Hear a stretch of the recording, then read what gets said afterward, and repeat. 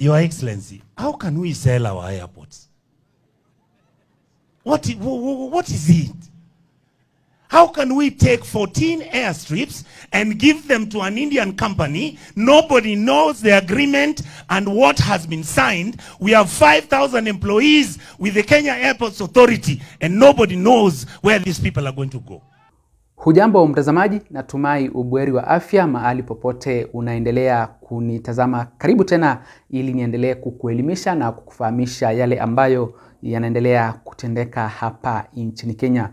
Serikali ya William Samoei Ruto imekuwa na mpango wa kutaka kuprivatize ama kulease kiwanja cha Jomo Kenyatta International Airport kwa Wahindi ambao wanajulikana kama Adani kwa miaka 30 ijayo.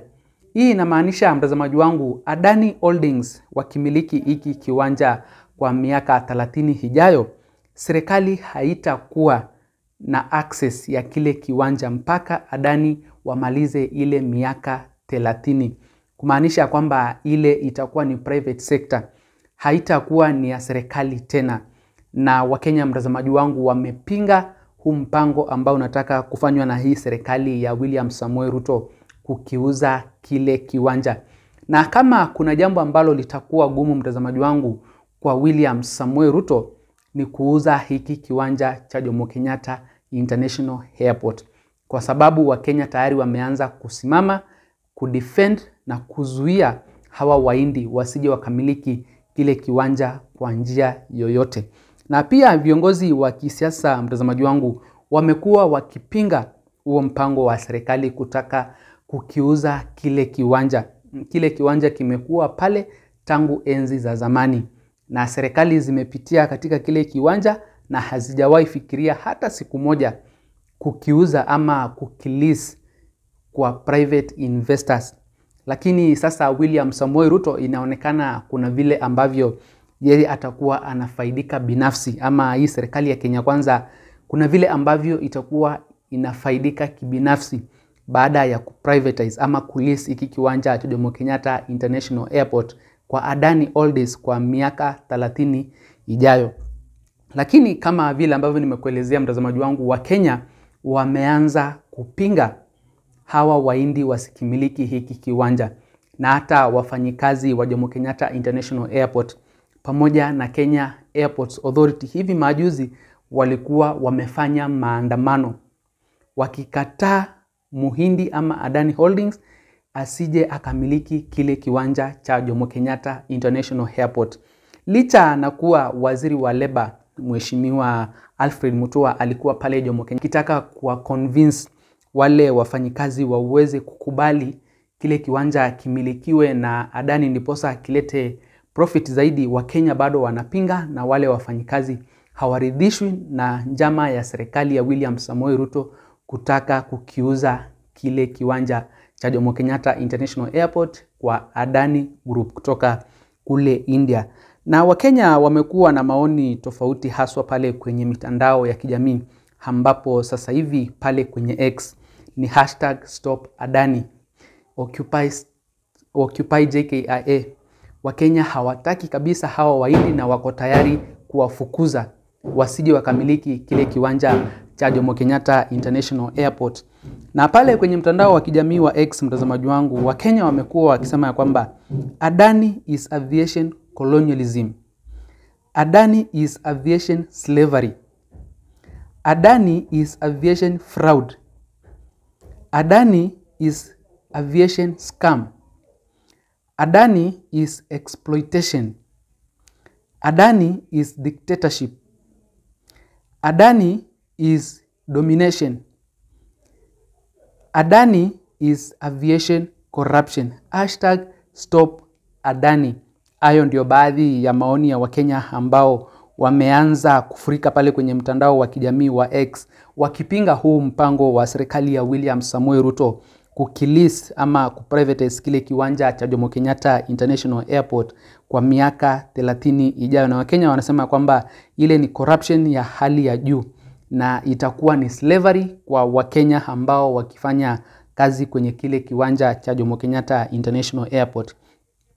Indian citizens working for Adani is seen accessing Kenya's JKIA airport.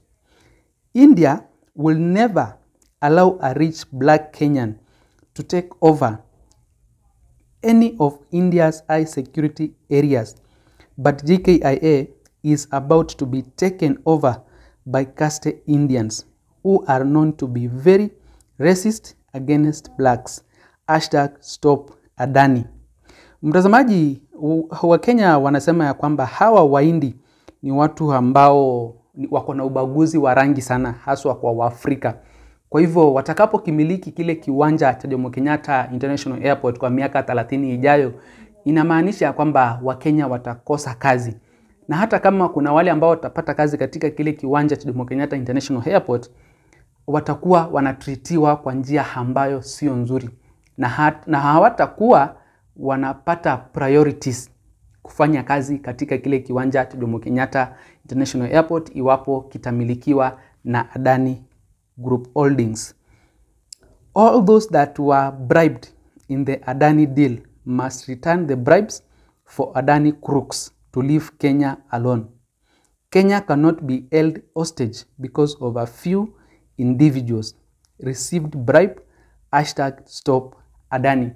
Na Wakenya wanasisitiza ya kwamba na wanaamini kuna baadhi ya viongozi ambao wamefanya corruption deal na ile Adani Group ndiposa kile kiwanja cha JKIA kiweze kumilikiwa. Na kwa hivyo Wakenya wanasema ya kwamba kama kuna corruption yote ilifanyika na kuna baadhi ya viongozi ambao walipata pesa kwa Adani Group ndiposa waweze kupeana kile kiwanja, basi huu ndio wakati mwafaka.